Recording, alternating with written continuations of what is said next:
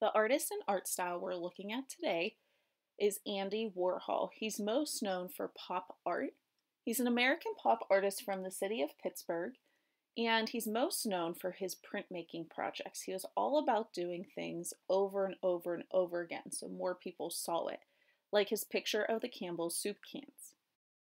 He did the soup cans because when he was a child, he was very, very sick and was only supposed to live to the age 11 so his mom would bring him Campbell's soup every day.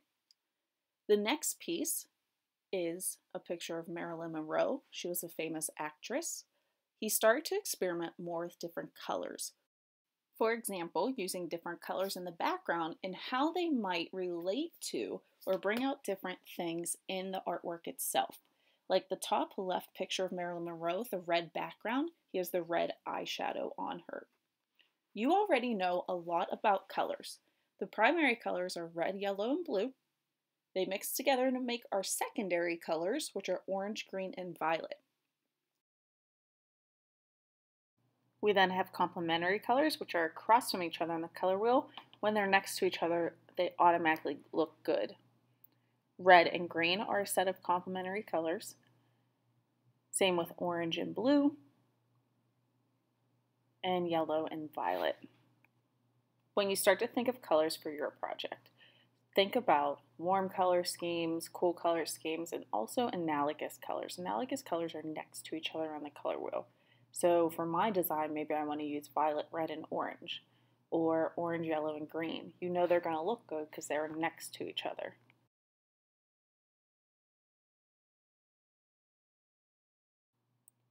When you go to make your shoe, the easiest thing to do is type in outline of whatever shoe it is. Maybe it's Yeezys, maybe it's Nike, Converse, Vans, Adidas, Reebok, whatever it is. Cleats, you could even draw. Um, I would highly suggest staying away from sandals or flip flops or Crocs. Um, those are a little too easy. So, what I did was I found my outline of my shoe. I start with the base of it and then I kind of build myself up. It starts to build its way up the shoe. After I'm done drawing what I see, I'm going to think about the colors that I want to put in it. And once again, going back to your color theory, and then I'll show you how to transfer it. So you're technically only drawing it one time, but we're going to transfer it two times. That way, it's the exact same shoe.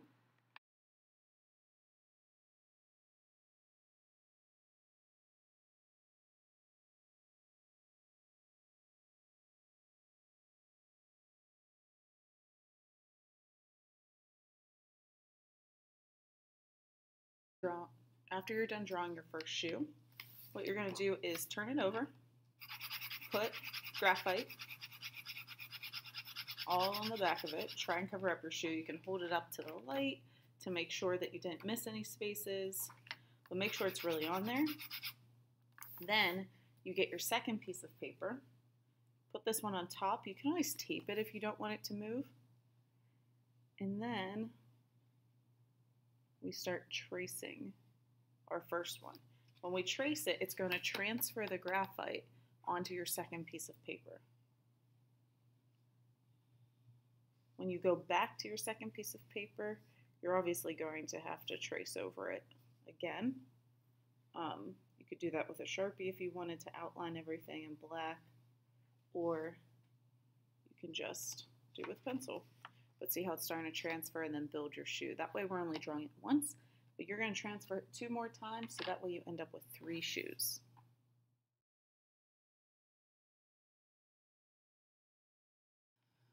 All three shoes are complete. I trace them with a black Sharpie to make them stand out even more. Now I need to think of my color schemes. If I want to use analogous colors, those are colors that are next to each other on the color wheel. They're going to look really good um, kind of blending together. You could use complementary colors. Those are the colors opposite each other, the color wheel. You can use all primary colors. You can use all secondary colors, warm colors, cool colors. Use so many options, but think about if you want to put designs or anything on them. I don't want to just color the shoe all blue. I want to add my own flair and my own elements to it. So first think about what's going to look best You can test some things out and colors out in your sketchbook first. But while I'm doing mine, I'm going to put it in fast forward while you do yours.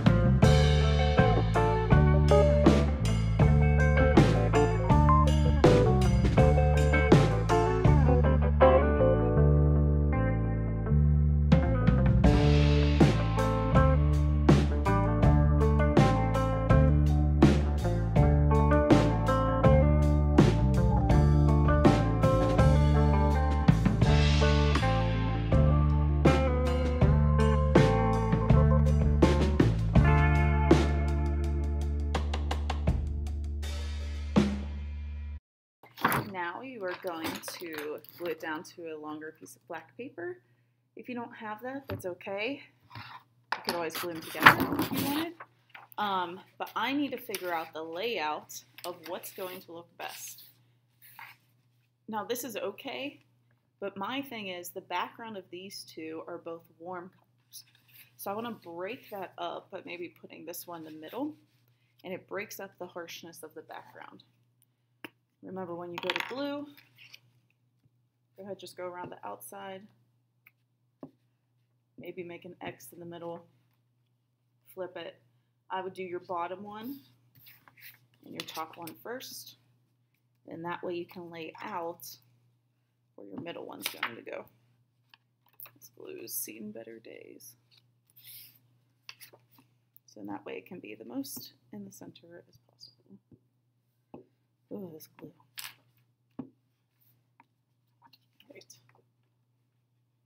After you're done, you'll just post on Artsonia, and then we'll go from there.